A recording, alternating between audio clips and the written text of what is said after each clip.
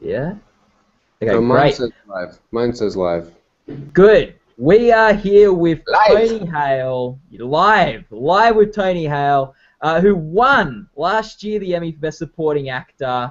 Nice. Uh, Modern Family had won it the three years before you. You broke sort of their run. Uh, just walk us through what was that like to have your name called out.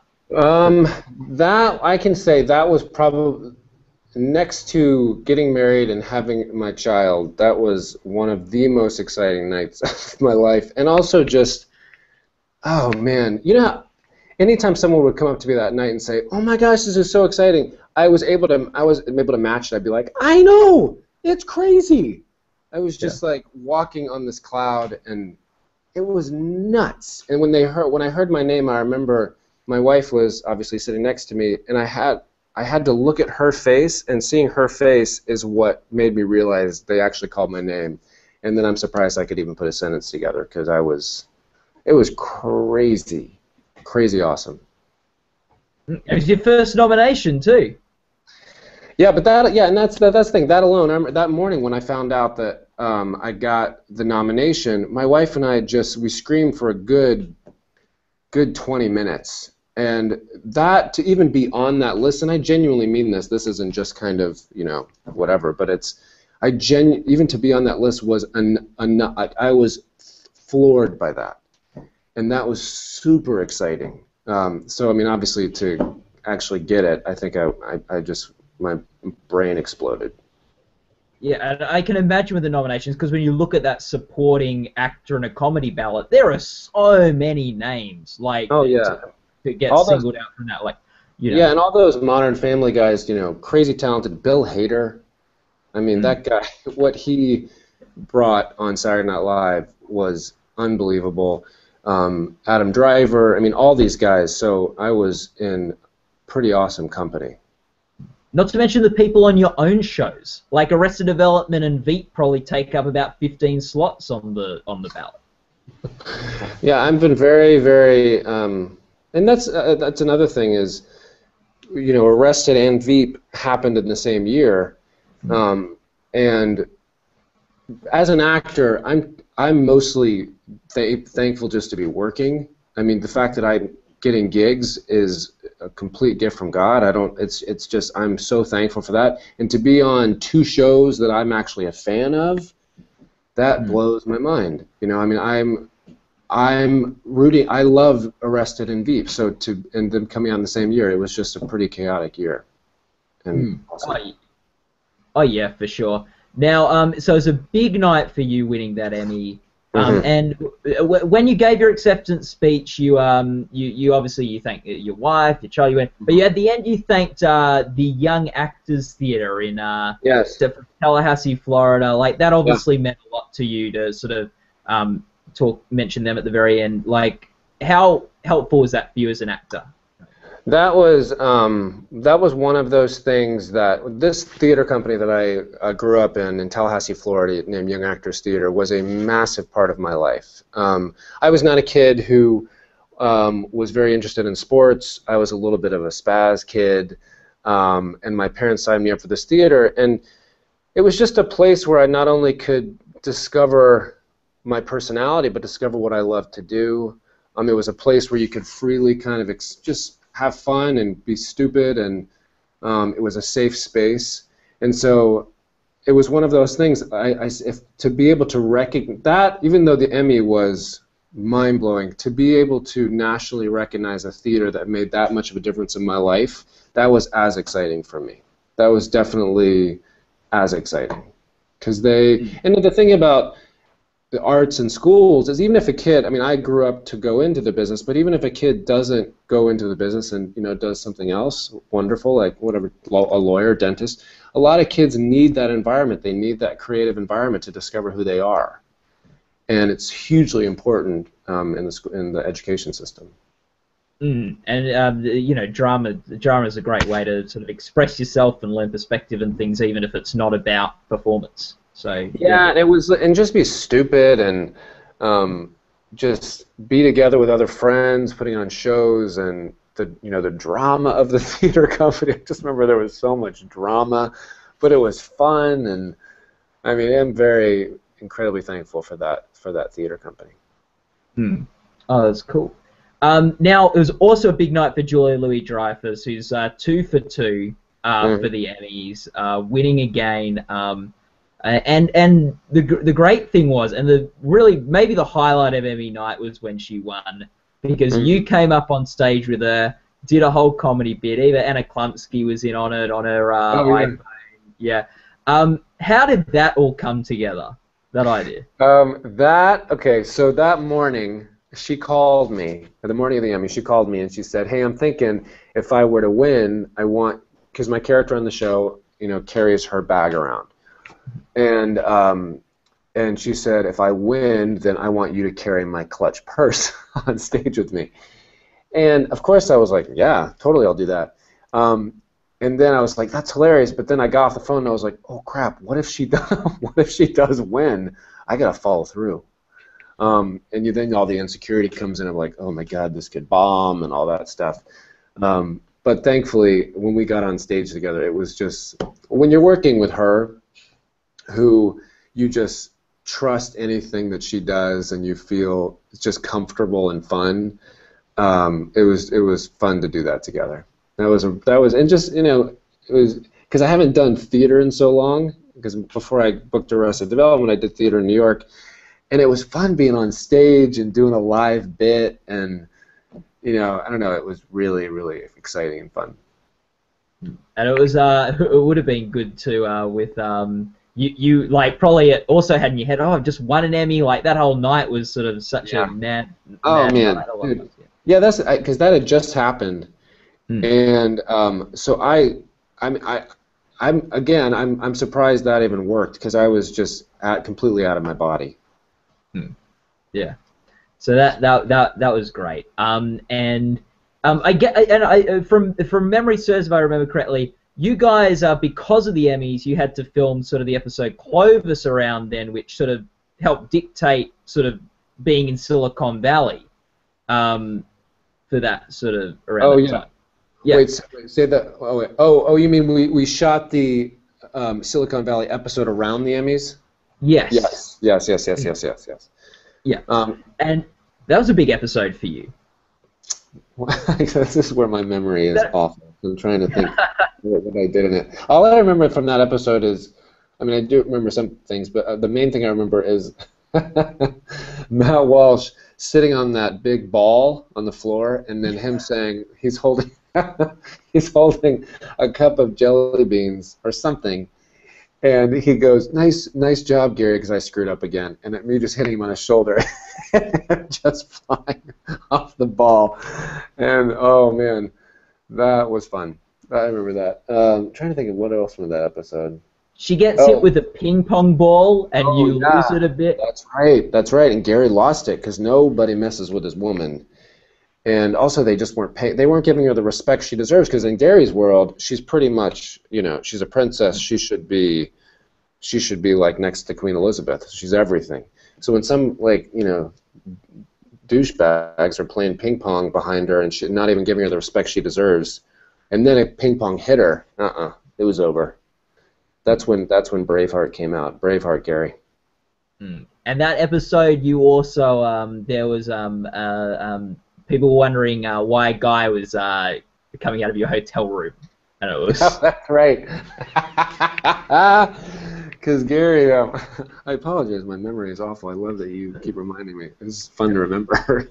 um, I because Gary's shoulder was hurting, so he had to hire a masseuse to come to his room, but they didn't know that. And this guy came into this room, and, and they all they were all already questioning. You know, I don't know, is is Gary gay? Is he not gay? And then when they saw um, the guy come out of his my room, and I said, I said, and then they approached me with it, and I was like, no, he was just doing, he was just giving me a massage, and they're like, okay, you do, you do what you want to do. You just, okay, that's fine. We're not judging you. And I'm like, no, he was giving me a massage. No, it's okay. You do what you want to do. So Gary Yeah. can never win. Uh, d um, you, you were talking about how like uh, you know Selina's Gary's princess, like you know, she's so. Many, do you reckon he's learnt anything about her over the past three seasons of Veep? Um, I he is so disillusioned. Um, it's a very uh, abusive relationship, but I think he is. Uh, Gary has this bounce back ability that is phenomenal. Like you know, she beats him down and abuses him verbally all the time, but it's as though once it's said, it just goes out his other ear, and he doesn't even register it. He just goes back to worshiping her and doing whatever she needs. So he doesn't retain a lot of stuff she says. I think he's just completely has I wouldn't even say rose-colored glasses. He just has blinders on. It just does not see or hear anything that she actually does. So even if she has gotten worse, I don't think he he he has such an image in his head that they will probably one day be married, and that's all he wants. and so he's got his eye on the goal. He's got his eye on the prize. So anything she does, she's, he's like, well, all right, we're getting married one day. So, so I think she's probably gotten a lot worse, but he doesn't faze him. Hmm. It's almost like she, like, it, like he completely needs her. He's become completely reliant on her. But he, in his head, it's probably, and tell me if this is true or not. But in his head, does he think she's completely reliant on him to the same degree? Like they, they sort of need each other. Oh yeah, in Gary's world. She really needs him. I mean, yeah. she really needs him, and she needs. She can't live life without him. In her world, I don't even think she knows Gary's last name. Yeah. I don't think she could. Even, I don't even think she could recall where he's from, anything personal about him. But in Gary's world, she just like completely is dependent on him, and knows everything about his life. Hmm. And he, uh, he's what do you think with this ensemble? Like, because it is a real ensemble show, uh, Veep, and everyone's got such a different personality. What do you think he brings to the table in, in the ensemble? You know, what does Gary bring to the table? Um, I would say, it, you know, DC is DC like anything. Because the fact is, DC is very much like high school. It's like the closest you, the closer you get to the popular kid, the more powerful you feel. So the closer you get to Obama, the more powerful people feel and everybody's kind of out to get ahead and positioning themselves and manipulating and backstabbing. And I think Gary's one of those guys that you know he's been in this position for 15, you know, to how many ever years, and he is very he's fine being just by her side. He's not really trying to get ahead. He just wants he wants her to get ahead. But he's pretty. Uh, he's just got a really he kind of half glass full. Tries to be content. Um, positive, where everybody else is really manipulative. So I think he's just kind of this wide-eyed, all is good kind of guy. You know, I mean, granted, he's incredibly codependent, and he needs like a 24-hour therapist. But um, I think he's just kind of brings to the table like, why are we acting like this? She's wonderful. You know, just kind of this stupidity to the table. I don't know he's also got this real honesty to him that maybe the others don't have as much. Where I, I, I loved in the debate episode, she goes, "Is the twitching real bad?" And he just looked at her and went, "Yes." Yeah. Oh, he's not yes. gonna lie to her. He's not gonna lie to her. It's like when she ran into the wall. Yeah. yes, that's right. How yeah. do, can I have a mirror? No, yeah. I'm not gonna give you a mirror. You're not gonna see your face. yeah. Mm. or she goes, she goes, "Do you have a mirror?" And Gary goes, "No," and she goes, "Yeah, you do." yes, you do. uh, uh, uh, um, and the the Veep is a very collaborative uh, process, from what I, I understand, where you spend a couple weeks working the scenes together before shooting and things like that. What's it like being a part of that sort of process as an actor? That might be a bit different to other sort of shows and things. Yeah, you, um, it's awesome, and many reasons. One being that um, obviously in theater you get a lot of rehearsal time. You get a lot of time to kind of work through the material. In television, you typically don't get rehearsal time. You kind of jump in and just start doing it. To be able to have two or three weeks where we take these this material that the writers have worked on very very hard, and we can just just find the chemistry in it. We can see what gels. We can see what bits work. Um, they give us the opportunity to kind of come up with fun stuff, and then they go off and hone it. Um, I mean, that alone is a gift to an actor. Um, they kind of, they just, in, in Armando Iannucci, he really you we all know the vision he wants for the show and kind of what his style and is but and he gives the parameters for the show but then he it's like a playground he sets up the playground but then he allows us to kind of play in there um, and that's all an actor can ask for you know it's there it's it's an ego free environment it's very collaborative julie is obviously a huge team player so i mean it's a, it's a gig that i am really really grateful for Hmm. And I guess um, with um, this season's seen a big change in Veep. Obviously, it's running for uh, Office rather than looking at mm-hmm. the, mach- uh, the machinations of the VP's And by the way, in. Gary's world, she should. I mean, she should have been running for the office from day one.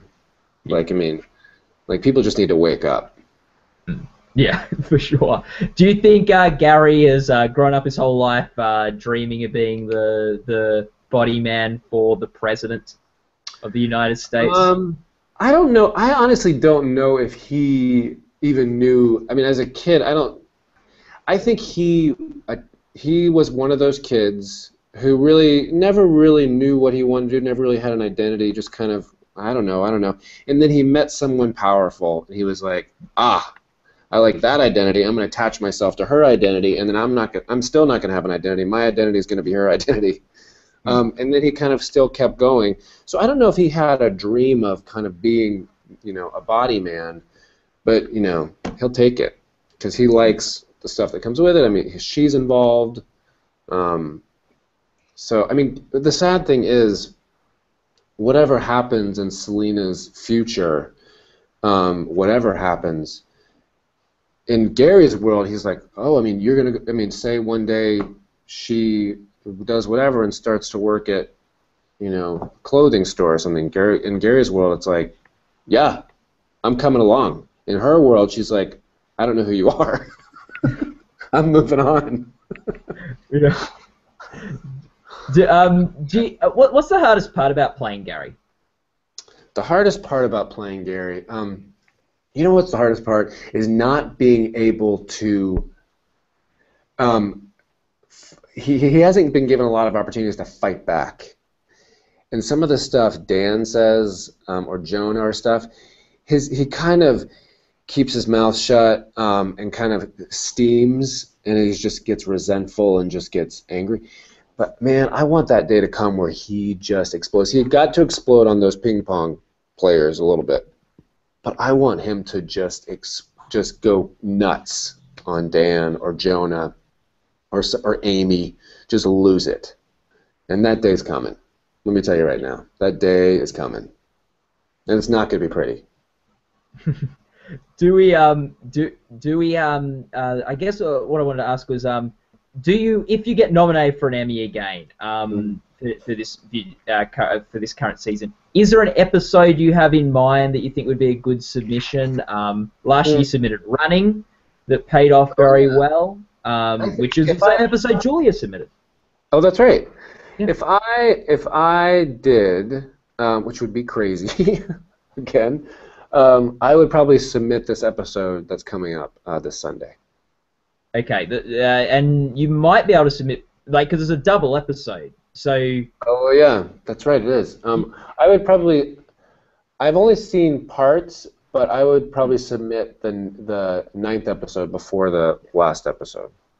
you might be able to submit both Oh really? That's, that's what Amy Poehler did last year on uh, Parks when they had a two air back to back. So Oh nice. um, Um. I don't know, but that's kind of what's fun. Um, I when I I haven't seen the whole thing, so I'm really excited to Yeah. um, see how it comes together.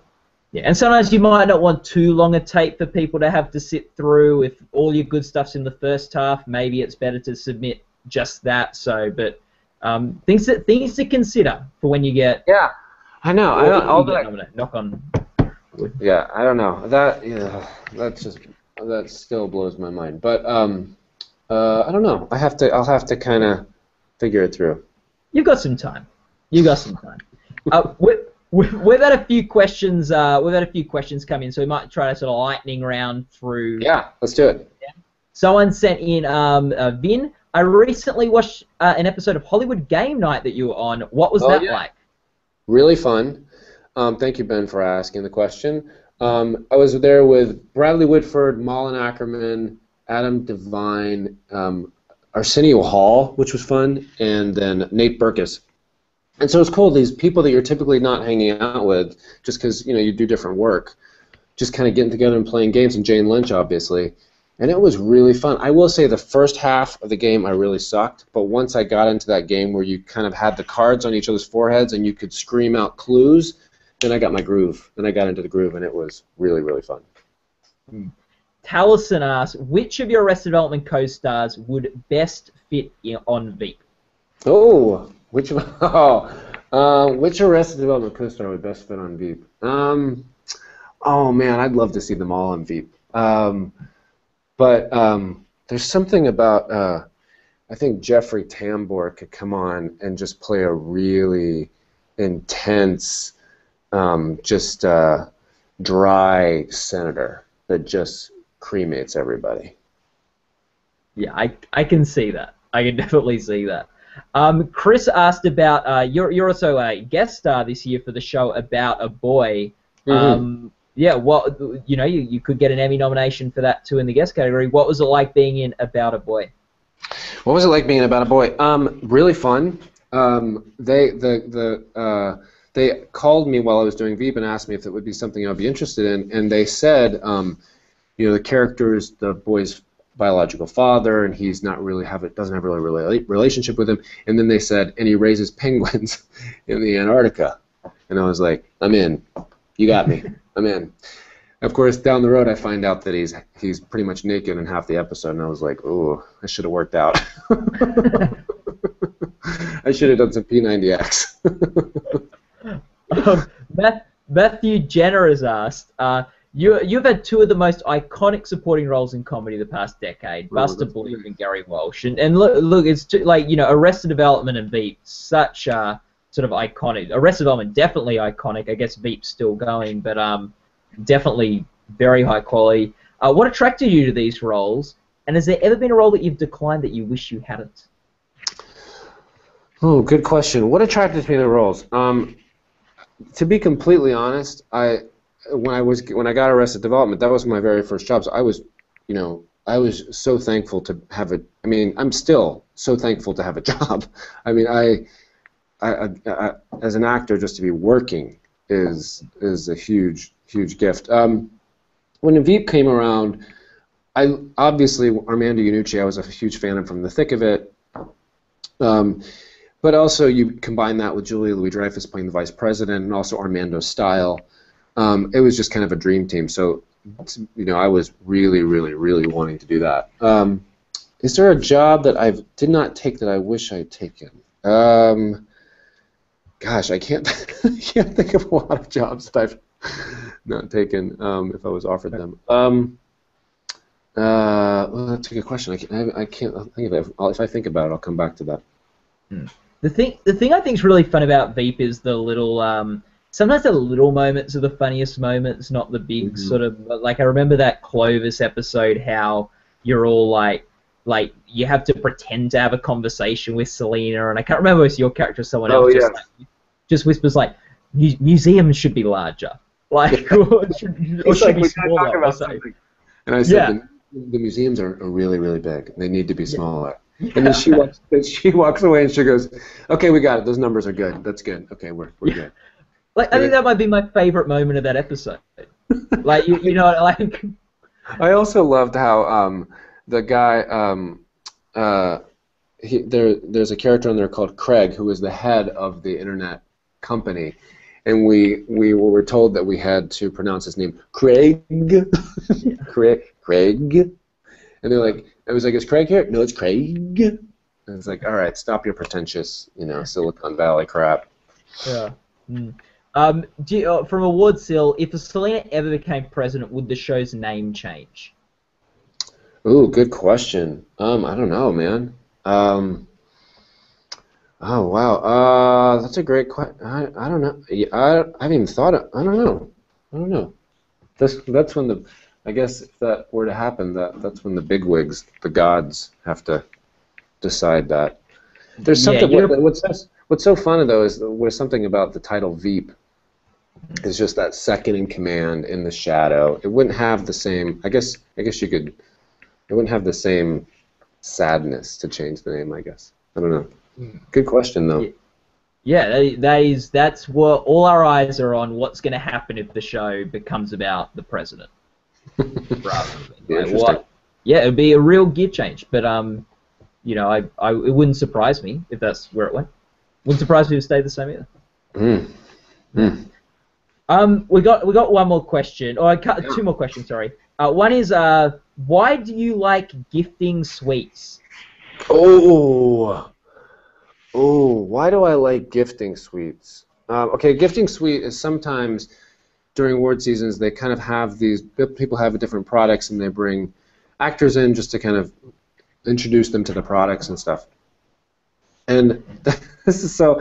Um, I'm a real gift giver. I like to give gifts, and some people say that you kind of find out what your love language is, and, and it could be either kind of I don't know, like words or affection or gift giving. And my, I like to give gifts to show love.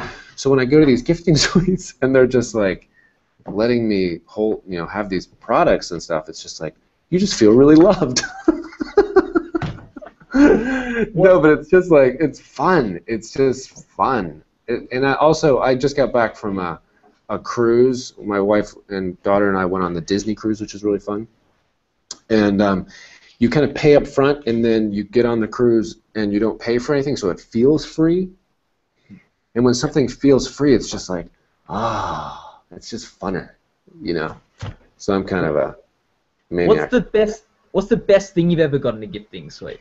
Mm. I mean, granted, I, it doesn't take much for me. If they hand me a candy bar, I'm like, oh my god, that's amazing. Can I have two? yeah. Um, what is the best thing I've ever gotten? Hmm. Oh my gosh, this is where my memory is just crap. Uh, I think some. I mean, there. One time we got. There's this company. Um, oh shoot, I forgot the name of them. But they're little apples. I can't believe I'm talking about this. They're these little applesauce uh, pouches, and uh, they're good snacks. I'm gonna stop talking because I sound like a complete idiot. Get rid, get rid of all the all the co- fancy colognes and stuff. It's the little apple sauce that. is- They're just really good snacks. yeah. That's, That- that- to think about it. That's sad. It's food related always. Yeah. What do, if you love you love giving gifts? What what's your go-to gift for people when you? What's a go-to gift? That's a great question. Um, I, you know what I love to do because I think it's it's if I find a really like if someone's birthday or I a couple things. I love to give pictures that are framed because that's something I like just having in your house. And for Christmas, every summer my family does um, we do a vacation and I always kind of videotape it and with my little uh, phone and stuff. And then as a gift for Christmas, I love going to iMovie and editing together the movie and adding music and transitions, and then that's a really fun gift to give them because that's a memory. You know, it's something that they'll have for the rest of their life. So that's really fun. Yeah, my, my go-to gift's usually just some hardcover book that might have some nostalgia value. And then you can write something in it. Yeah, People always, yeah, because people always throw out the card. Yeah, exactly. And and having like a personal message in it is important. Obviously, you're a big reader. Are you a big reader? Yeah, I I guess like I'd like to read more than I do, but I, I like to read. Giving a book though. That shows that you've invested in the book, and then you want to share that book, right? Okay. Yeah, that's yeah. good. I'm not. I, I need to. I need to be a much better, much better reader. So that says a lot about you. Oh, thank you. I I, I feel like that I've got friends that do a lot more reading than me. I get excited about applesauce pouches and candy bars. Usually they're like picture books. Like you. Should, oh, okay. Okay. Well, no, that's no. different. I mean, depends. Hey, if I don't. actually- I actually have a children's book coming out in August that you'll really, you might really Really? like your to give Okay. your. It talks about how um, we're always looking as you know we're always finding ourselves looking to the next big thing. It's called Archibald's Next Big Thing, and then in the end he realizes that big and beautiful things are all around him, and we, as my friend says, we have to wake ourselves up a hundred times a day to where we are, and that's what the book's about. I like it. Well, So it might yeah, be a great. fun book for you to give your, your your nephews and nieces if you have any, or kids. Yeah, I, I give. I, I don't have kids. I don't have nephews. I don't have nieces. But I do have some friends that are Arrested Development and Veep fans, so they might get a kick Great. out of a Great. a kick out of uh, getting a picture, a book written by you. Um, so uh, that suites question uh, came courtesy of uh, what's uh, Matt Walsh uh, sent in that question for us. Oh, the gifting suites? Oh, thanks, Yeah. Matt. Good lord, So- he's calling me out constantly. Yeah, he says he likes asking you that. yeah, he's just like shaming me. That's his favorite extracurricular activity. He he also wanted to know, and that's our last question. Uh, have you ever worked with Pamela Anderson? It was oh, I have, Matthew. Matthew knows I have. I did an episode of wow. Oh, why didn't I? Why didn't I get questions to him when he was doing his? Um, yeah, he Uh, got there him was a sh- first. He got him the day before you. there was a show called Stacked. I don't know if you remember on Fox. Oh yeah, I do. I do remember the ads for that. And, and Pamela Anderson, who by the way is lovely, and she's a very sweet girl. Um, she was the head of this bookstore, and I guest starred once and came in as like a really uptight customer um, in the bookstore, and the show was called Stacked. Yes, thank you, Matt Walsh. Yeah, there you go. Yeah, I'm sure you wanted people to remember all your work, not just Veep and Arrested Development. But, Exactly, guys. I've got a wide range. mm, yeah. Well, thank you so much for all your time Thank with you. us today, Tony. Uh, it was so much fun talking with you, and all the best. Oh, and, and all the best with Veep. Is Arrested Development coming back? That's like seems like an obligatory question I have to No. ask you, but No, I I, pre- I appreciate you asking because I love I love that question. I I always feel bad that I don't have enough information. I know that if it were if they were to make the decision for it to come back, every single one of us would be would be, would jump on board because Yeah.